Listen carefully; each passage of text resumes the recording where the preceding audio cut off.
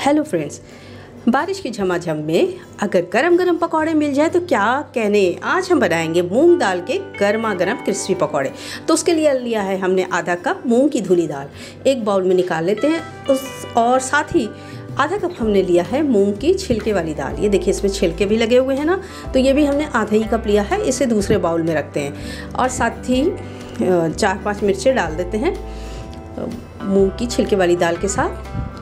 अब दोनों दालों को हमने अलग अलग धो लिया है। अब इसे सोख करेंगे कम से कम दो से तीन घंटे। दो से तीन घंटे सोख करने के बाद बहुत अच्छी तरह से दालें फूल गई हैं। अब इनका पानी निकाल लेते हैं। अब एक मिक्सिंग जार में हम डाल देते हैं छिलके वाली दाल को और साथ में हमने जो मिर्ची डाली वो भी डालेंगे पाँच छः जवे लहसुन को छील के डाल देंगे और अदरक का बड़ा सा एक टुकड़ा भी काट के डाल देंगे और इसे हम बिना पानी के दरदरा पीसेंगे। हाँ फ्रेंड्स हमें पकौड़े बनाने हैं तो दाल को दरदरे ही पीसना है। तो हमने इसे अभी पीसा है, ये देखिए, अभी बहुत अच्छी तरह से तो ये बिल्कुल भी नहीं पीसा है, थोड़ा दरदरा भी है, लेकिन अभी हमें थोड़ा सा ग्राइंड हमें और करना है। तो अब हम डाल देंगे, अब हमने मूंग की धुली हुई दाल को लिया है। इसके दो बड़े चम्मच हम निकाल लेते हैं। मूंग की धुली दाल का मतलब हो गया कि यानी कि छिलके, बगैर छिलके वाली दाल। तो बगैर छिलके वाली दाल के दो बड़े चम्मच अलग रखने के बाद बाकी की दाल को मिला लेते हैं। उसी ग्राइंडिंग जार में डाल करके और इसे भी दरदरा पीसते हैं। ये देखिए कहीं कहीं हमें साबत दालें भी नज़र आ रही तो इसी तरह का टेक्स्चर हमें रखना है। तो ऐसा टेक्स्चर पकौड़ों के लिए लाजवाब होता है। अब हम दालों को एक बाउल में निकाल लेते हैं। ये देखिए, ये बिल्कुल ही दरदरा सा है। अब हम इसमें टेस्ट के अकॉर्डिंग नमक मिला देंगे और नमक मिलाने के बाद हम इसे दो से तीन मिनट तक फेंटेंगे। और टेक्सचर आप देख रहे हैं, बहुत ज़्यादा पतला नहीं है, ये गाढ़ा होना चाहिए। तो गाढ़ा होगा तो पकौड़े अच्छे और क्रिस्पी बनेंगे। अगर पानी रहेगा तो पकौड़े क्रिस्पी नहीं बन पाएँगे। अब हम मिला देते हैं आधा छोटा चम्मच अजवाइन और आधा छोटा चम्मच ज़ीरा, आधा छोटा चम्मच ज़ीरा पाउडर और एक बड़ा चम्मच हम मिला देंगे कुटा हुआ धनिया का। तो कुटा हुआ धनिया से पकौड़ों में एक लाजवाब सा टेस्ट आता है। आप इसे स्किप करेंगे तो पकौड़े का टेस्ट भी अलग होगा। तो इसे ज़रूर डालिएगा। अब सभी चीज़ों को मिला लेते हैं। ढक करके अब इसे 10 मिनट के रेस्ट देते हैं। अब चलिए हम बना लेते हैं एक बड़ी मज़ेदार सी चटनी अपने पकौड़ों के साथ खाने के लिए। और ये देखिए, इसके लिए लिया है हमने पुदीना, ताज़े पुदीने की पत्तियाँ हैं, धनिया की ताज़ी पत्तियाँ और एक कच्चे आम को लिया है।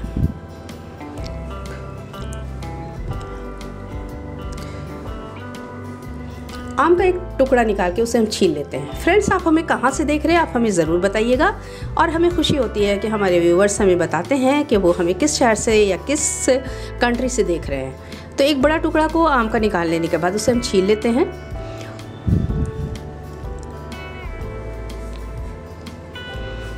बस इतने ही टुकड़ा चाहिए, इसके हम पतले पतले स्लाइसेस कर लेंगे।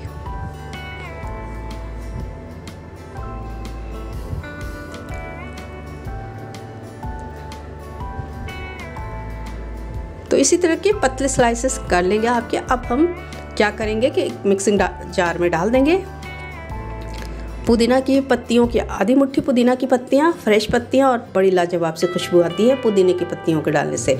और एक मुट्ठी भर हरा धनिया हरा धनिया को हमने हाथों से तोड़ के डाला।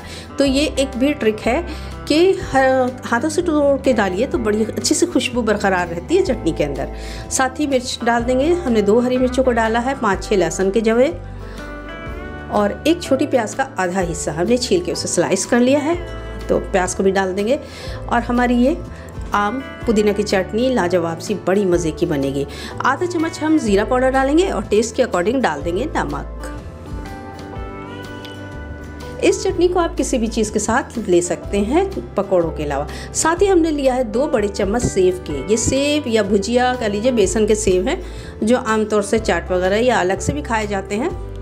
उसके साथ ही हम चौथाई चम्मच पानी डाल देंगे। अब इसे ग्राइंड करेंगे। तो इस चटनी की ये खासियत है कि आप इसे तीन से चार दिन के लिए फ्रिज में स्टोर भी कर सकते हैं। तो चलिए इसे एक साइड रखते हैं। अब हमारा दाल भी तैयार हो चुका है। उसमें दो हरी मिर्चें चॉप करके डाल देंगे और एक प्याज को हमने चॉप करके रखा है। इसी तरह से कट कीजिएगा। लच्छे नहीं बनाने हैं। तो प्याज को भी डाल देंगे। थोड़ी सी धनिया की पत्ती। और सबको मिक्स करेंगे। बाकी चीज़ें हम पहले ही मिला चुके हैं, यानी नमक, मसाले वगैरह। तो फ्रेंड्स इस तरह के चटपटी, मसालेदार रेसिपी हमारे चैनल पे मौजूद है। आप विज़िट करके देख सकते हैं। अब हम मिला देंगे जो दाल हमने दो चम्मच अलग करके रखी थी ना, मूंग की दाल तो उसे भी मिला देते हैं। तो मूंग की साबत दाल को मिलाने से क्या होगा कि बड़े क्रिस्पी पकौड़े बनेंगे और पकौड़ों का लुक इफ़ेक्ट और मज़ा तीनों में बहुत फ़र्क आएगा।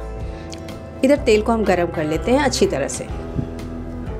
जब तेल अच्छी तरह से गर्म हो जाए ना तो फ्लेम को हम मीडियम कर देते हैं। यानी कि हमें मीडियम फ्लेम पर पकौड़ों को पकाना है। तो अभी हमारा तेल मीडियम हॉट है।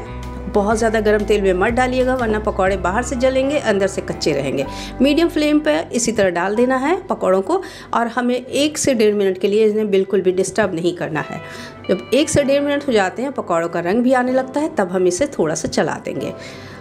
और जब पकौड़े हमारे थोड़े से क्रिस्पी होने लगे तो इसे अलट पलट के सुनहरा होने तक तलते हैं। ये देखिए, पकौड़े भी सुनहरे होने लगे हैं।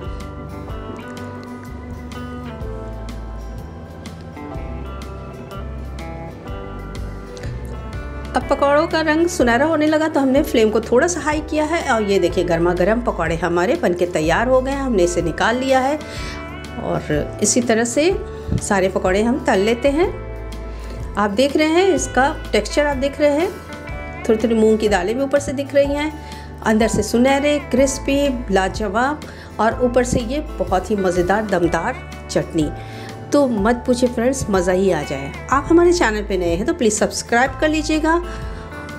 और इस तरह देखिए चटनी के साथ इन पकौड़ों का मज़ा तो कुछ और। ये तो हमारी डिलीशियस मूंग दाल के पकौड़े बन के तैयार है। बहुत लाजवाब रेसिपी बनी है। हमारे चैनल पर नए हैं तो सब्सक्राइब कर लीजिएगा। फिर मिलती हूँ आपको कुछ अच्छा नया, मज़ेदार लेकर के। तब तक के लिए अल्लाह हाफिज़।